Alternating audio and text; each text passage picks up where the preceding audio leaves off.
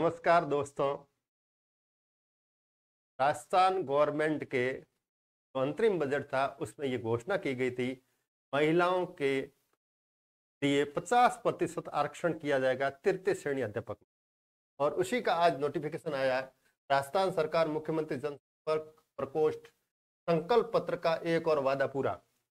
ये वादा किया था और इस वादे को आज क्रियान्वित हो गई। इसका मतलब यह है कि जो नेक्स्ट भर्ती आएगी तृतीय श्रेणी अध्यापक की लेवल वन और लेवल टू इन दोनों में 50 प्रतिशत पद वो महिलाओं के लिए आरक्षित होगा। महिलाओं का आरक्षण है, वो हॉरिजेंटल है।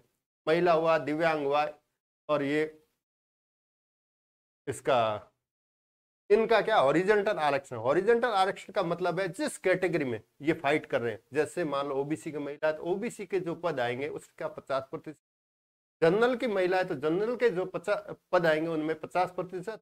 एस सी एस टी की कोई महिला है तो एस सी एस टी के जो पद आएँगे उनमें पचास प्रतिशत पद महिलाओं के लिए आरक्षित रहेंगे।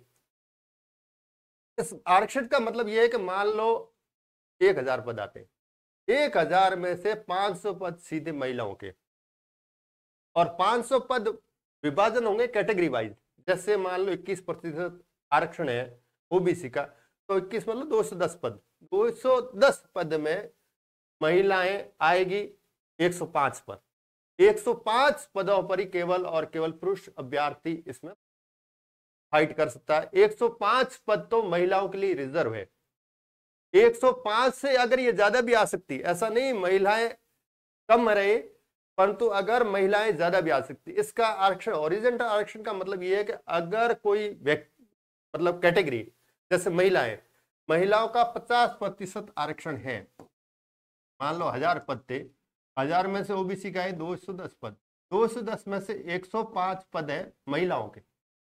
अब 105 पद से एग्ज़ाम दिया और मेरिट में जो जनरल लड़कों या लड़कियों के कमेंट जो मेरिट बन रही, उस मेरिट में 105 लड़कियाँ आ गई तो तो अलग से इनको आरक्षण दिया नहीं जाएगा।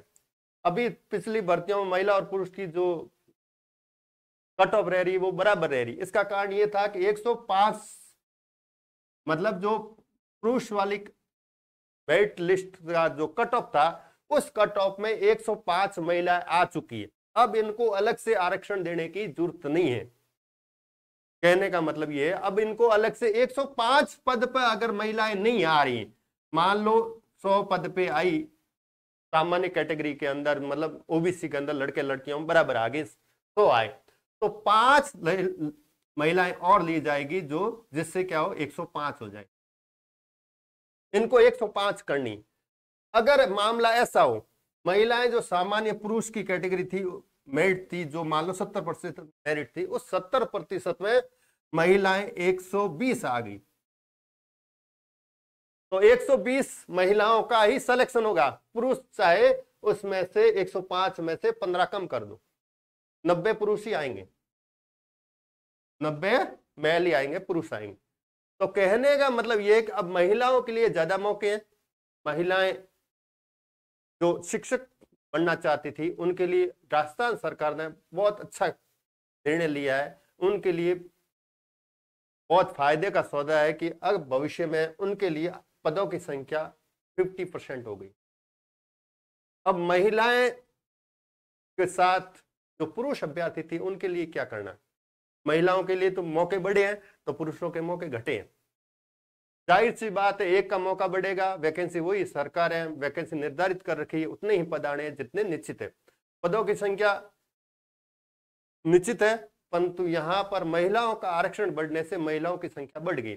अब पुरुषों के लिए इसके मौकों की संख्या कम हो गई।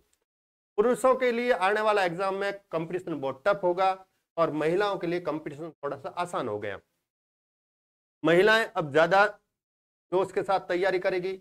पुरुषों को हतोत्साहित नहीं होना है। आपको हतोत्साहित होना नहीं है, जो अपने पास मौके उतने ही अपन लड़ सकते उससे ज़्यादा तो अपन आ नहीं सकते। अब जो ज़्यादा मोर टैलेंटेड होगा, ज़्यादा तैयारी करेगा और ज़्यादा समय देगा, उसी का सिलेक्शन होगा। बाकी को हतोत्साहित होने की ज़रूरत नहीं है। आप जिनको सरकारी नौकरी चाहिए जिन जिन लोगों को सरकारी नौकरी चाहिए, वो आज से जुड़ जाए, तृतीय श्रेणी अध्यापक के लिए, और आपके अब मौके कम हो गए हैं।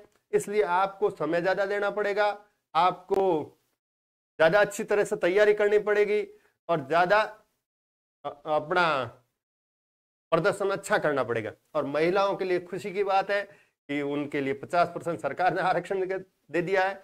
इसलिए सरकार का शुक्रिया अदा करें और अपनी तैयारी को जारी रखें। आने वाली जो भर्तियाँ होगी, तृतीय श्रेणी अध्यापक की, उनमें महिलाओं को ज़्यादा मौके मिलेंगे। इसी के साथ धन्यवाद।